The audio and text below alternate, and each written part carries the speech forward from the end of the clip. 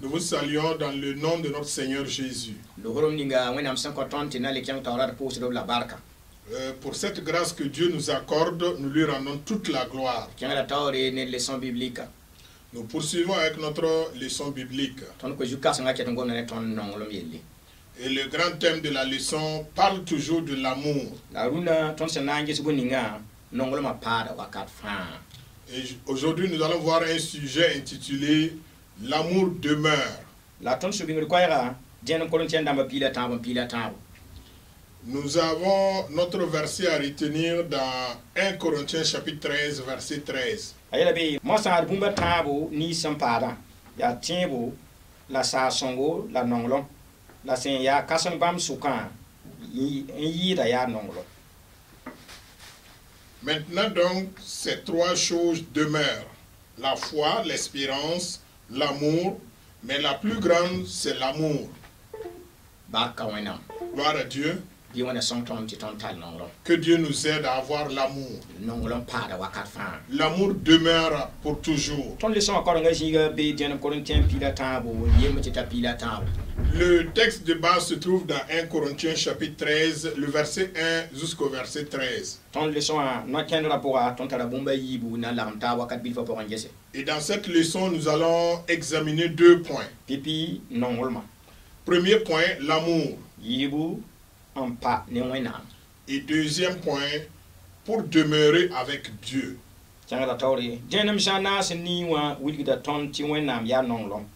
Kẽngda taoore dẽnem sã n naas n nii wã wilgda tõnd tɩ wẽnnaam yaa toogo bɩ d yaa bũmb sẽn ka tõe tɩ tõnd ninsaalbã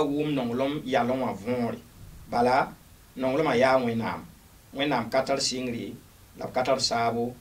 la b la wẽnnaam la ye. So tɩ nonglem paad wakat fãa 1 Jean 4, 8 nous informe que Dieu est amour. Il est donc difficile, voire impossible, pour nous les hommes de comprendre la réalité de l'amour, parce que l'amour, c'est Dieu. Dieu n'a ni commencement ni fin. C'est pour cela que l'amour demeure. Il est difficile pour l'homme de connaître la profondeur de Dieu. Dieu est Dieu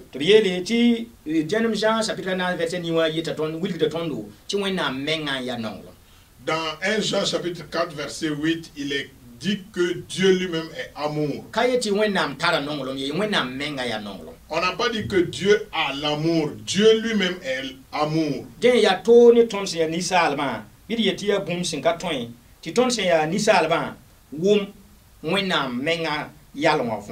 Alors, c'est pourquoi l'auteur nous dit qu'il est difficile et même voire impossible pour nous, êtres humains, de pouvoir comprendre les réalités même de Dieu.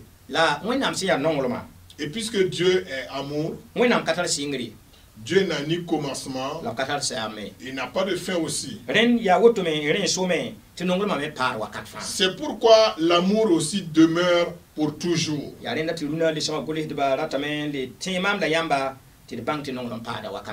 Et c'est pourquoi l'auteur voudrait donc nous rappeler euh, que l'amour demeure pour toujours.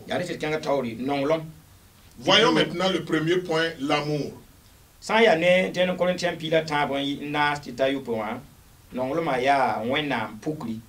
sẽn lek ninsaal bõnda tɩ wã nemsã fãa pʋsẽ galas n dãmba nuum pisra yɩ tɩ t'a pisra tãabã pʋga nonglem yaa yẽebg ning zugu taga sõme wã eh, a taaba fãa ninsaal sẽn segd n talla sẽn tõe n tiki tɩ paam tõogr tõnd tʋʋmda non, a pʋgẽ dũniyã zugu tõnd segd n nonga wẽnnaam la non d nong to nonglem kãngã sẽn ka tõe n yɩ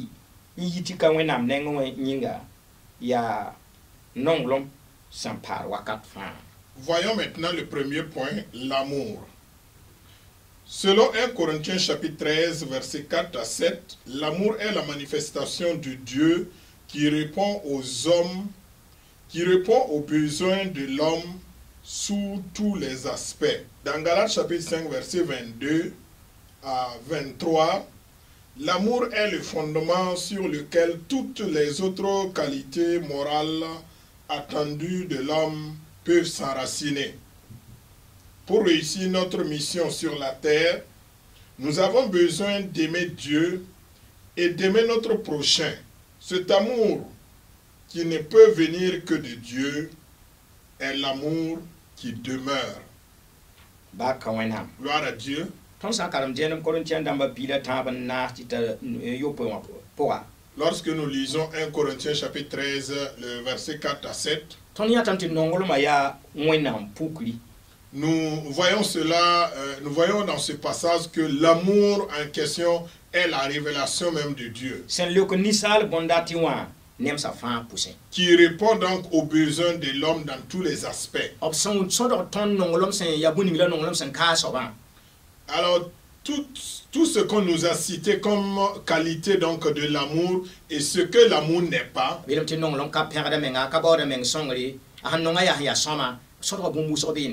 l'amour ne cherche pas ses propres intérêts, l'amour ne soupçonne pas, l'amour ne fait pas du mal.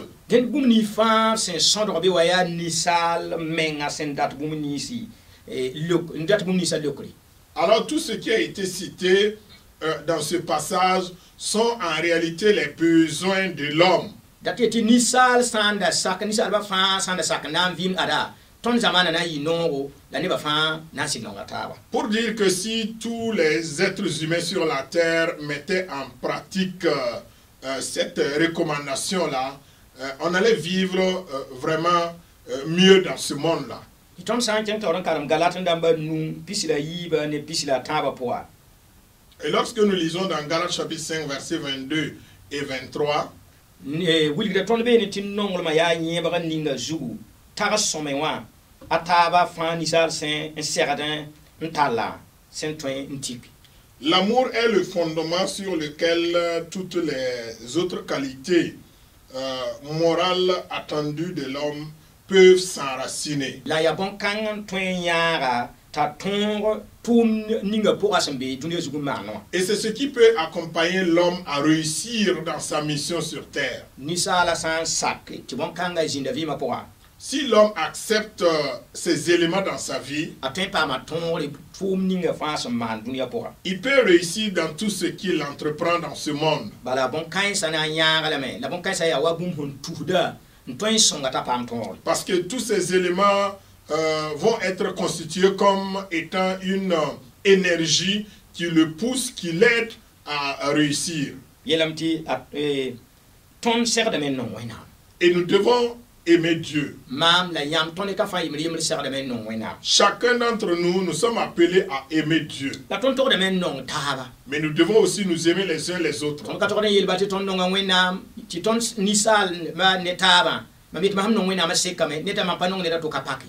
Et nous ne devons pas dire que nous aimons Dieu et oublier aussi nos prochains. Cela n'est pas suffisant.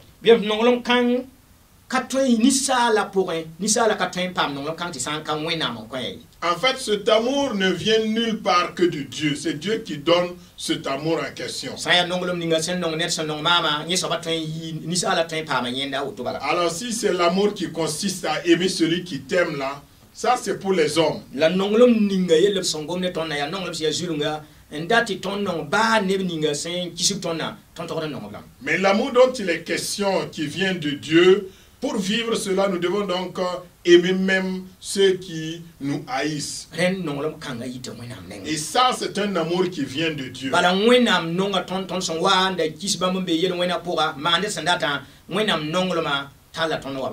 Parce que Dieu euh, a manifesté son amour à notre égard au moment même où nous étions dans le péché et l'amour de Dieu nous a ramenés auprès de lui. Peut-être que tu dis que tu n'as pas cet amour, mais tu vis et que tu fais ce que tu veux. Sache que c'est l'amour de Dieu qui te permet non seulement d'exister, de vivre, mais aussi de continuer à faire ce que tu fais. Si Dieu décidait donc euh, de te dire que tu n'existerais plus, tu n'as aucune force, aucun pouvoir pour contredire la volonté de Dieu.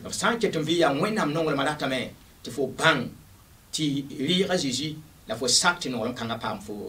fo Si tu es toujours en vie, sache que c'est l'occasion pour toi de recevoir cet amour de Dieu et permettre à ce que l'amour de Dieu puisse avoir une place importante donc dans ta vie. kẽngda taoor yiibã b yeelame n pa ne wẽnnaam Au deuxième point de la leçon, il est dit pour demeurer avec Dieu. Yaa modg n vɩɩmd dẽenem korintɩan dãmba piila tãab naase n yopoe wã d bãngd wẽnnaam tõoda d sũyã pʋsẽ la d vɩɩmdba woto yaa woto kɩtdame tɩ tõnd yɩ wẽnnaam zoa ned wẽnnaam sẽn n be a pʋgẽ n vɩɩm nonglmã yaa maan bũmb fãa n zems wẽnnaam daabã n yĩm tõnd mensã n get neba a taaba yelle a wa a zeezi tõnd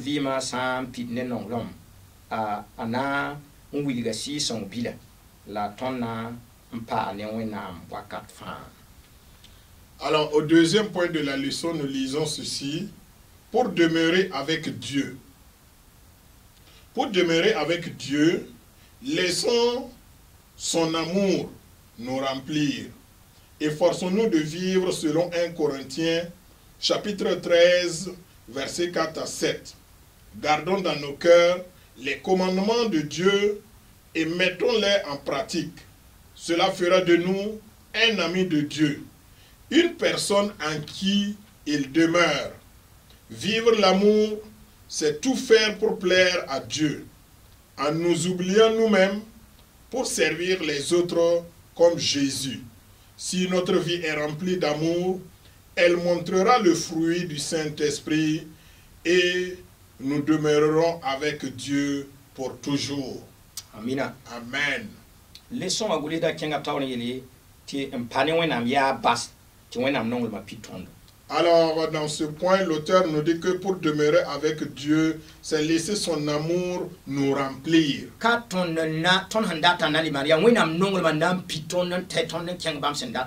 En ce moment, ce n'est plus notre volonté qui se manifeste, mais l'amour de Dieu qui nous conduit à accomplir la volonté de Dieu. la pida Et la volonté de Dieu, qui est l'amour de Dieu, va nous conduire à vivre dans 1 Corinthiens chapitre euh, 13, versets 4 à 7. tɩ tõnd pa maan sũ-noog ne pas se réjouir du mal, bala n'est pas chercher notre propre intérêt, be que nous puissions mettre en pratique tout ce qui a été cité. et pouvoir garder aussi la loi de Dieu, les commandements de Dieu dans notre cœur.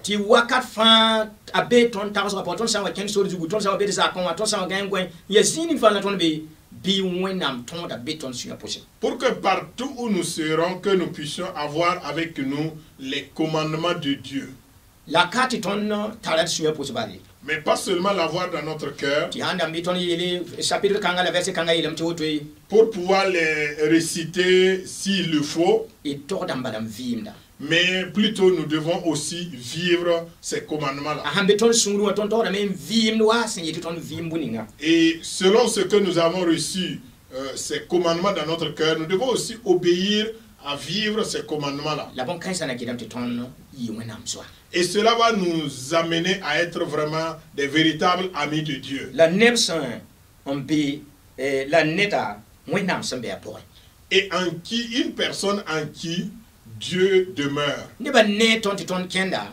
Les gens nous voient euh, bouger partout, la b na n yãame tɩ bũmb ning sẽn be tõnd pʋgẽ wã yel-manesem ninga sẽn pukdã yaa wẽnnaam raaba la wẽnnaam tʋlsmã n pukda nebã sã n yã tõnd yaa wa. Yel-manesem ning sẽn maanda yaa wa. Wẽnnaam sẽn maan bũmb ninga wã mais lorsqu'ils vont nous voir euh, euh, euh, vivre avec les gens, c'est-à-dire, c'est, ils vont voir en nous le caractère divin, la nature divine même qui se manifeste en nous.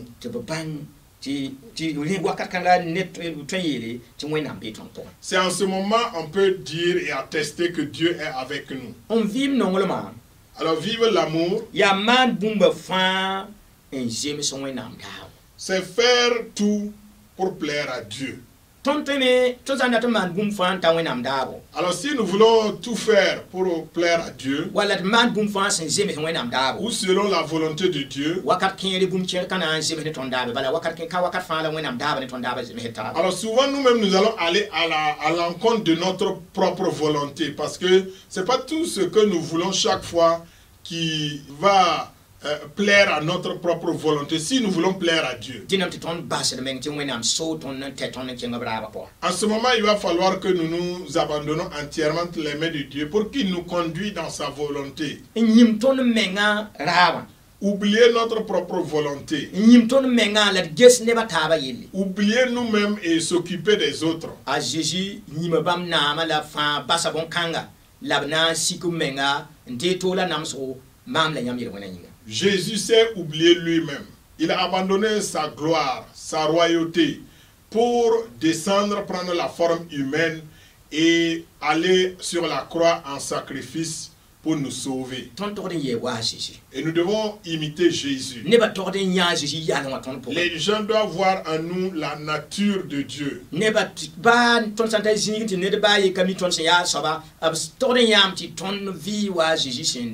Même si nous arrivons à un endroit où nous ne sommes pas connus, dès que quelqu'un qui connaît Dieu euh, nous voit, il verra en nous des actions qui ressemblent aux actions de Jésus. Si notre vie est remplie d'amour, alors cette vie va manifester donc le fruit du Saint-Esprit qui est en nous. Tous les éléments que compose le fruit de l'Esprit de Dieu, alors vont se manifester en nous. Et en ce moment, nous allons demeurer avec Dieu pour toujours. Que Dieu nous aide tous à nous poser la question pour savoir si j'ai l'amour qui demeure pour toujours dans ma vie.